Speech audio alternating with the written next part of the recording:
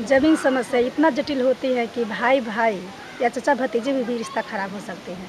अजय महतो, थारू जनजाति किसान के साथ भी ऐसा हुआ है। उनके बड़े चचा खजानती महतो अवैध तरीके से अजय महतो की ज़मीन बेच दिया है। मैना टाड़ के दबंग गैर थारू व्यक्ति रामनारायण सिंह से बेच दिया है।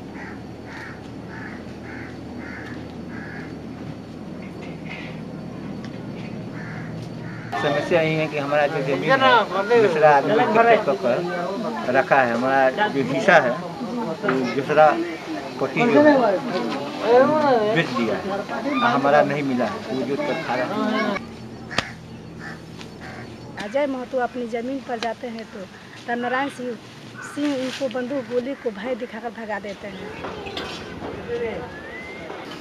हमारा परिवार बेचा है हमारा भी शेयर बेच दिया। अड़तालीस में उसको खरीदा गया पचास में उसको बेच दिया गया।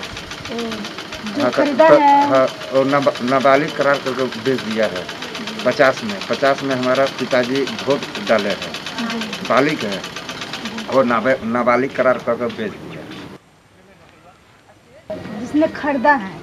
हाँ। किसने खरीदा है? किस जाति का है? कहाँ के रहने वो चनपटिया का है उसका बलेश्वर सिंह नाम नाम है उसका लड़का राम नारायण सिंह। आपका शेयर मतलब वही ज़बरदस्ती जोत रहा है। हाँ ज़बरदस्ती जोत रहे हैं। आपके पास कागज़ है और जोत रहे हैं? हाँ कागज़ है हमारे पास। देखिए दो कागज़ है। जी।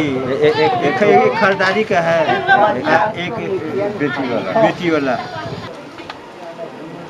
अजय महतो जब सरकारी अधिकारी के पास तकरार करने जाते हैं तो लाखों रुपए की रिश्वत मांगते हैं। इस वजह से अजय महतो के ज़मीन के कागज़ होते हुए भी अपने घर से बेघर होकर ससुराल में जीवन बिताने के लिए मजबूर है। तो है तो इसके लिए आप आवेदन किए हैं? आवेदन कर रहे हैं तो पैसा मांग रहे हैं। कौन पैसा है?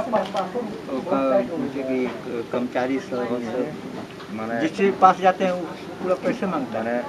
हम लोग कोर्ट में जाते हैं तो इतना पैसा लगेगा वकील मांग रहा है इतना पैसा। चार लाख लगेगा दो लाख लगेगा पाँच लाख लगेगा ज़मीन, अजय महतो की ज़मीन की तरफ़ दबंगे कब्जे में है। मैं चाहती हूँ कि अजय महतो की ज़मीन के नाते पर उसे उसकी ज़मीन दिलाया जाए। इसलिए मैं मैनाटाड़ के अंचल अधिकारी से बात करूँगी और आप भी अंचल अधिकारी के नंबर पर कॉल करें जिनका नंबर है पचासी, चौवालीस, इकतालीस, सत्ताईस, इकतालीस। इस नंबर पर कॉल करके दबाव बनाएँ। मैं तंजी पश्चिम चंपारण बिहार से इंडियन हेल्थ के लिए।